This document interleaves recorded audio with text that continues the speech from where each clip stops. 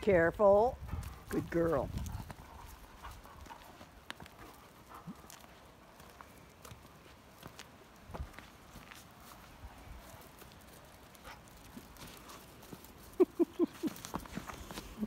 Have you had enough tormenting of oven that?